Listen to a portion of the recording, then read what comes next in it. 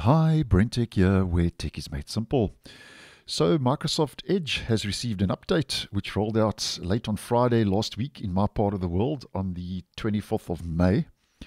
And if you have been using Microsoft Edge over the weekend um, on a regular basis, I'm sure that by now you would have received this update. But because we are dealing with an important security fix, it's always good to double check that your browser is up to date.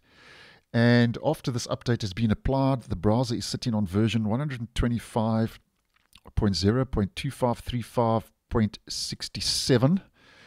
And that point release has been bumped up from 0.51.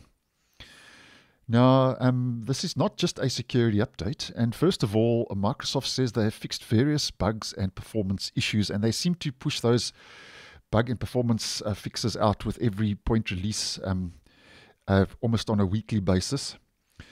And the big one here is that um, there is an exploit in the wild, a zero day that's been patched, and that's the security fix that rolled out for the Chromium based web browsers last week, where um, the update to the stable channel contains a fix for CVE 20245274, which has been reported by the Chromium team as having an exploit in the wild. So, a zero day exploited in the wild means it's an exploit that's out there, current and happening. So, very important to just check your browsers up to date.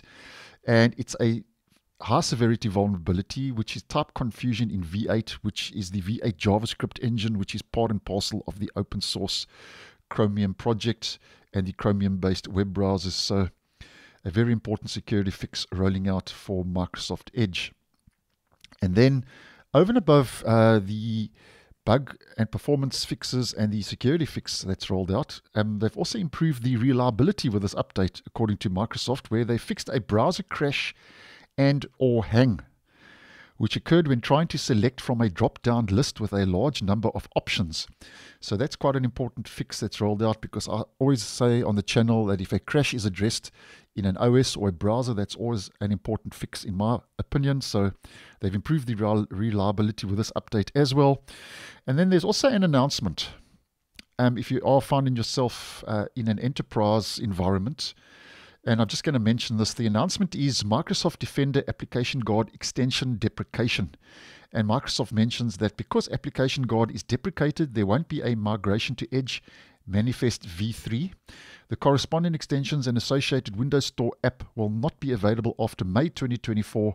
This affects, they say, the following browsers Application Guard extension uh, in Chrome and Application Guard extension in Firefox. That's just an announcement as well.